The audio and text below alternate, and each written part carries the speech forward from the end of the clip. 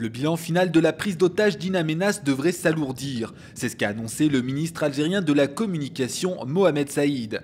Alors que le bilan provisoire s'élève à 23 morts du côté des otages et 32 du côté des assaillants, Alger a annoncé poursuivre la recherche d'éventuelles victimes. Selon les chiffres encore provisoires du ministère de l'Intérieur, les forces spéciales ont au total libéré 685 employés algériens et 107 étrangers.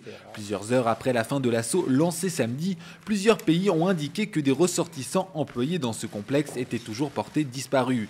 C'est notamment le cas pour le Japon ou la Grande-Bretagne. Alors que les pays occidentaux se sont inquiétés de l'opération algérienne, le président français François Hollande a estimé que l'Algérie avait eu les réponses les plus adaptées. Le président américain Barack Obama a quant à lui estimé que les terroristes islamistes étaient les seuls responsables de la mort des otages.